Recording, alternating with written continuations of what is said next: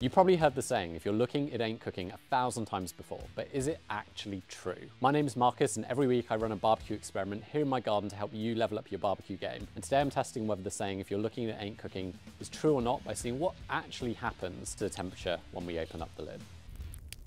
So the theory behind why this might be true is pretty straightforward. When we open the lid, heat escapes and it might take 15, 20 minutes to get back to the same temperature. But that assumes that what's cooking the food is convection heat from the air, which may or may not be true. In barbecue, we use a lot of different types of heat simultaneously. We're using conduction heat from the grill grates, radiation heat from whatever it is we're cooking, whether it's gas, charcoal, or wood. We're using convection heat not just from the air, but also from the food itself. So the question really is how much of what's cooking the food is the convection heat from the air, and is a sudden drop in temperature enough to change the cooking time? Let's find out. To test this, I've got a pork shoulder that's been on the smoker for about four hours. We're rocking around 60 degrees internal temperature, 107 Celsius ambient temperature. And in a moment, I'm gonna open up the lid for one minute and we're gonna see what happens to both the internal and the ambient temperature. And I've also set up a thermal imaging camera so we can hopefully visualize what actually happens to the heat when we open the lid.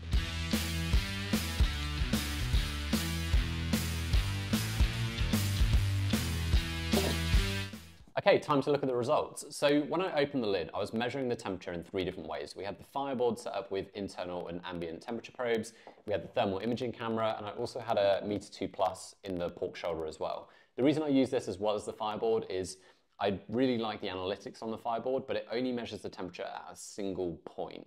Whereas one thing I really like about the Meater 2 Plus is it measures the temperature along five different points of the probe. So you can see what's going on both in the right in the center of meat as well as close to the surface, which could be interesting for this experiment.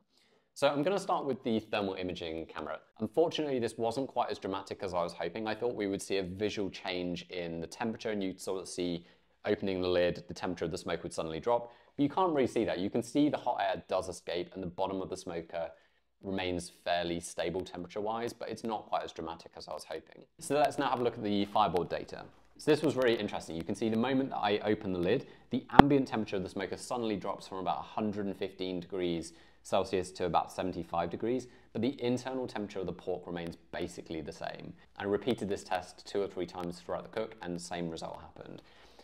But things get interesting when we look at the data from the Meater. So unfortunately, Meater don't let you see a time series graph of the temperature for each of the five probes. But I got this video on my phone where you can see what's happening when I open the lid is that the temperature right in the center of the pork remains basically the same, if not continues to cook, whereas the temperature towards the surface of the meat does start to drop a little bit. So what does this mean? Well, the saying if you're looking it's not cooking kind of depends a bit on what you're cooking. If you've got a large cut like brisket or Boston butt, or pork shoulder, then it's very unlikely that opening the lid is going to have any major impact on the overall cooking time. Perhaps with a smaller cut like ribs where the distance between the surface and the center of the meat is much smaller, it might have a bit of an impact, but again, I'm not convinced it's gonna have a major impact on the overall cooking time. So for this one, I'm gonna say, if you're looking, it's not cooking, is false. So if you have any ideas for barbecue myths or experiments you'd like to see, drop them in the comments below. I'll reply to all the comments. And if you enjoyed this video, remember to subscribe and click on the screen, and I'll see you in the next experiment.